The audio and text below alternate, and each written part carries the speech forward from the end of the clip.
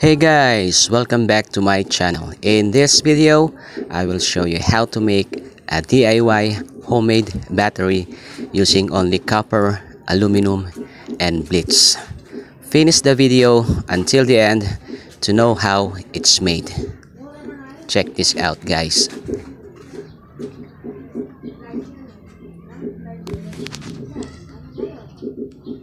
Okay, now we have here the materials we need for this project.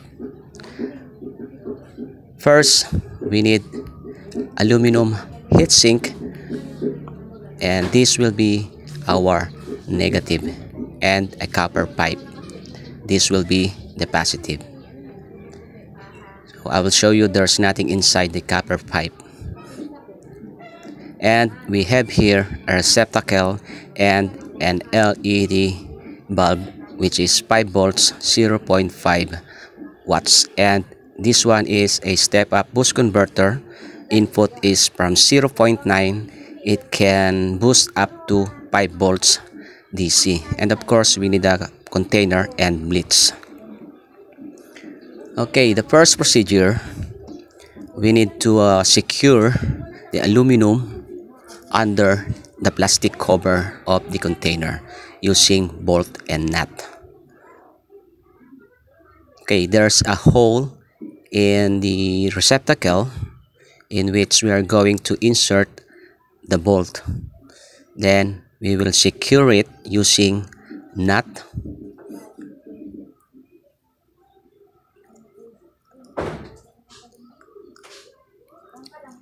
okay so it took me uh, some time to assemble this because uh, the parts are very small. So use a plier to tighten the nut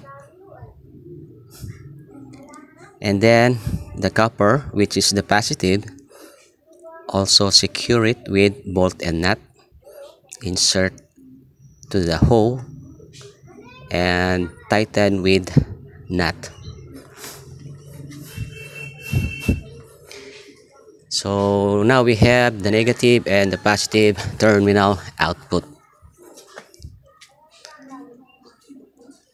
Okay, now this time we are going to make sure that uh, aluminum and copper will not touch each other in order to prevent short circuit. Now we're going to connect the switch to the positive terminal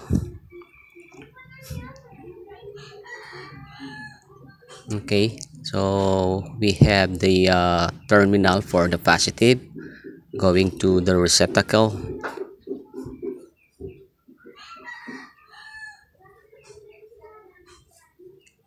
And next is tighten it.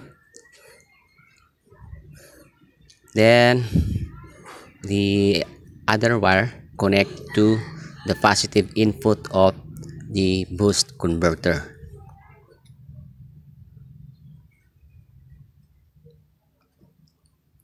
Okay, just solder it and now it's done. Okay, now we're going to connect the negative terminals to the input of the uh, boost converter.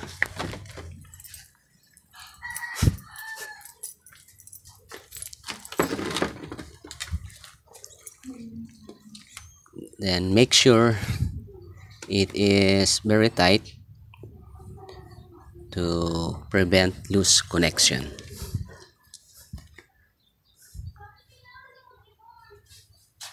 So okay there you go.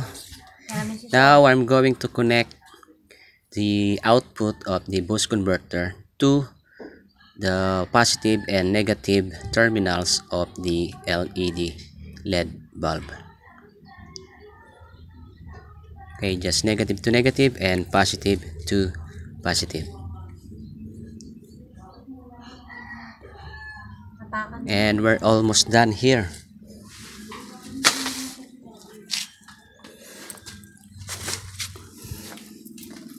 Okay now there we go. Okay just uh, completing the connection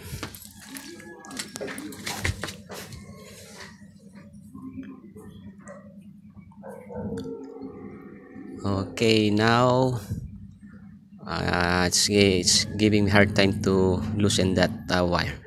So anyway I'm just uh, reconnect it. And there you go guys.